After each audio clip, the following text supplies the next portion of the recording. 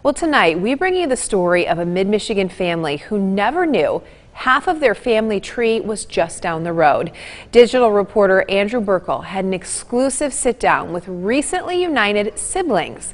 He's here for you now. And Andrew, this is quite a story.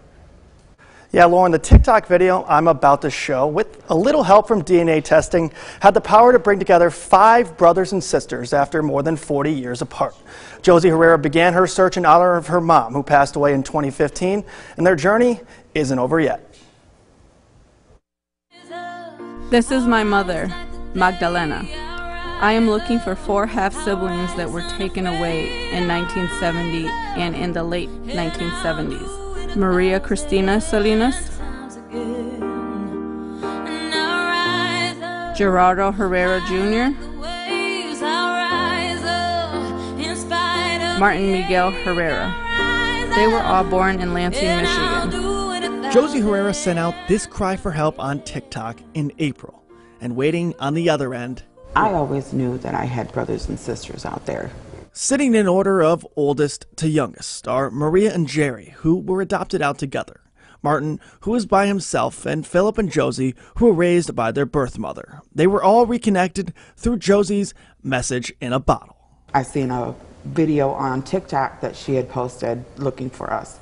And she had a picture of my mom with Jerry and I, and she had our names and birthdays and stuff like that up there. And I was like, I instantly messaged her. I said, I'm right here, sis. I'm right here.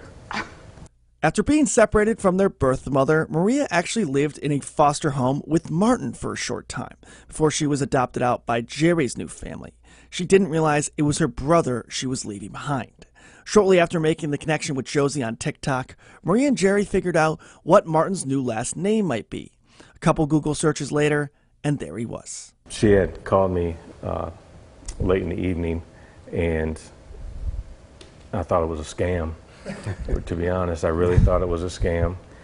You know, I told her at first. I told her, uh, "You have to give me some time. You know, I gotta, you gotta give me some time." But probably an hour, two hours later, I say, "I'll meet you on Thursday." Since they've met, it's been an instant connection. But it wasn't necessarily easy coming around on the idea of a whole new family. Did any of you guys ever have second thoughts about wanting to connect at any point?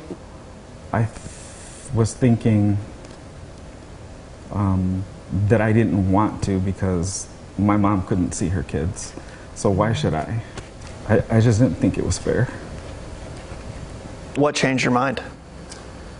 Meeting them, all of them. What was that like emotionally? Oh God, man, it was uh, heartwarming and heartbreaking at the same time. Having spent her whole life with Jerry, Maria didn't know how her brother was going to take the news that he had a whole other family living just down the road. When I told my brother to come over, that I had something important to tell him, I wasn't sure how he was going to take it. So when I did tell him, I took a step back to let him process everything. Instantly, I could see a change in his attitude, his whole demeanor and it warmed my heart because he's never been like that before. I always question, you know, why? Why was I given up for adoption? Was I not loved? Was I not wanted? Um, but come find out that wasn't the case, you know. And I was very much wanted, very much loved, very much talked about. One of the things uniting the siblings is their search for their oldest sister. Janie Lou Salinas. They haven't found her yet, but they're driven to give their sister the same feeling of reassurance that they've experienced.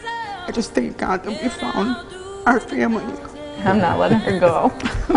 As five of the six siblings have reunited, the search has certainly narrowed. But the Herrera family won't stop. Not until they complete the family tree. Because that's what their mother always wanted more than anything. I remember growing up and I would catch my mom crying and I never understood why. As I got older, I understood. She was remembering their birthdays. I want to find them for my mother. It was her lifelong wish to find her children. And I still want to make it happen for her even though she isn't here. Thanks for the help.